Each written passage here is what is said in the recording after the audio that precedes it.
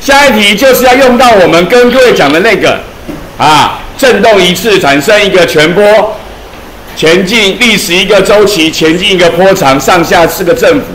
原来是 A 图，经过零点一秒之后变成 B 图。请问你，布拉布拉布拉布拉布拉，来，三十公分图上面三十公分是一点五个波长，你有看出来吗？所以我们就可以知道，我们的一个波长是多少？二十公分。所以选项 B 是错的。OK，然后。零点一秒两个坡，对不对？从 A 图到 B 图就是零点一秒，零点一秒两个坡，那表示一秒几个坡？二十个坡，一秒二十个坡，告诉我什么？频率，所以频率就是二十，频率就是二十，所以选项出也是错的。那频率波长是二十，频率也是二十，那么我们就可以算什么？波数嘛。v 等于 F 乘以 lambda，啊，算出来呢就是每秒四百公分嘛，所以 A 也是错的。然后呢，频率跟周期互为导数，所以你知道了频率就会倒过来就变成周期嘛，对不对？就可以知道了。那我们现在换一种方法做解决理化问题的方法，通常都不止一种。你要挑一种你看得懂的、你明白的、你知道怎么回事的来学它，不要挑那个你觉得比较快的那种方法，那不重要。一个周期产生一个全波，前进一个波长，零点一秒产生两个全波，表示什么意思？经过两个周期啊。那零点一秒是两个周期，那一周期多少？零点零五啊。对不起。对，零点零五啊，所以我们答案选谁？选 C 啊，最后答案选 C。OK，好，了解以后，来这个，这个跟我们前面那个练习零是相似的。这是一个照相机，咔嚓拍一张下来，绳子的不同地方有不同的高度，然后你可以看到什么事情，然后就巴拉巴拉巴拉问这个问题。请问你，它的叙述谁是错的？然后告诉你 P 到 R。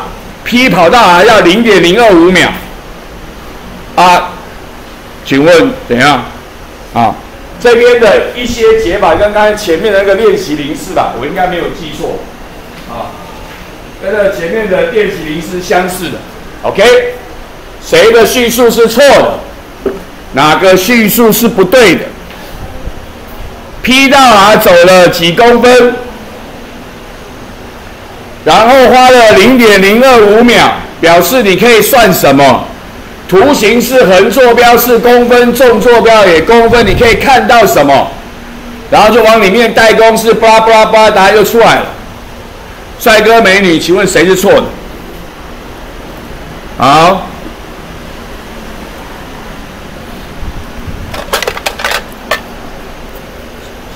三十二号。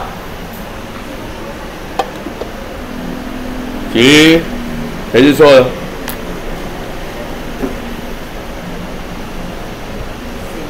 ？C，请说，你选了 C 是错的。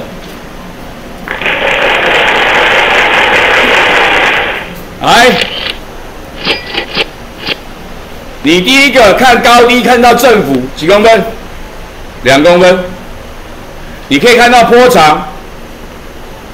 坡峰到坡峰，坡谷到坡谷，同样位置到同样位置，二十。选项 A 对。P 到 R 有四分之一个坡长，P 到 Q 有四分之六个坡长，所以呢，P 到 Q 呢需要六倍的时间，因为你的长度要六倍嘛。那零点零二五秒乘以六倍多少？零点一五秒。所以 C 是对的。你也可以未来算出坡数，在往里面回来带也可以。然后呢，一个周期产生一个全波，前进一个波长。那么 P 到 R 四分之一个表示有四分之一个周期，走四分之一个全波表示经过四分之一个周期。四分之一个周期是零点零二五秒，一个周期四倍，所以零点一秒。所以周期是零点一秒。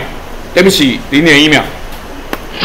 然后呢，周期跟频率互为导数，所以反过来频率又是十赫，所以 B 是对的。啊，坡数是 V 等于 F 乘以 lambda，然后带漏数是，你也可以从 P 到 R 走几公分，然后九会花多少时间来算出它的那个坡数，不要这样做，这是带坡数公式。可是你可以直接算 P 到 R 走几公分，然后花几秒去算数也是可以的。然后算一算呢，频率波长算出来是每秒两百公分，所以猪是错的，所以我们答案选猪。这就是基本上这一题就是要用到我跟你讲的，请你记住的事情：振动一次产生一个全波，历史一个周期，前进一个波长，上下四个振幅，拿来弄。